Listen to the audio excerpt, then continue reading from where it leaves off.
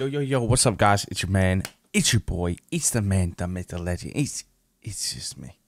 Frozone. Bring you guys a um a well requested video. And this is just on my video showing you guys what the Grau attachments are and uh, and what I use on my main Grau class. Now the Grau, in my opinion, is is insane. It's literally insane.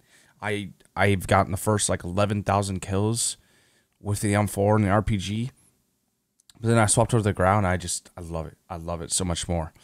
The reason why a lot more people like the Grau man is because it's very very easy to control. Since it's easier to control and you know people hit more shots. If people hit more shots, it's a faster time to kill for a lot for most of those people. So that's why the Grau has been seeing so much more success. Um, or you're seeing a lot more people use it too. So let's get into the attachments. Um, I use monolithic suppressor, of course, the Tempest 26.4 Archangel or angle, however you say it. I don't know. I don't know how to read. Okay. I personally use tack laser. Now you don't have to use the tack laser. A lot of people are against the lasers. If you do not like the tack laser, you put the rear grip XRK Void 2 on, okay?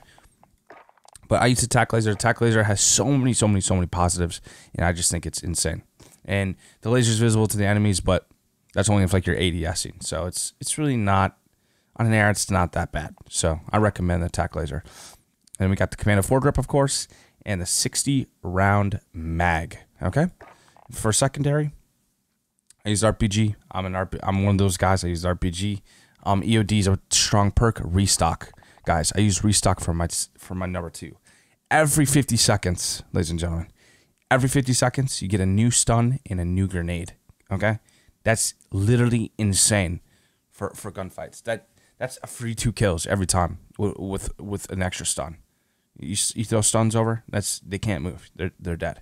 And of course, Amped because RPG, you reload the rocket launcher faster. Plus, you swap weapon faster. So that's why I use Semtexes and stuns. I don't need to use C4s because I already got the RPG for the explosives. And so, um, yeah, I just want to do a quick little rundown of what I use on the Grau class.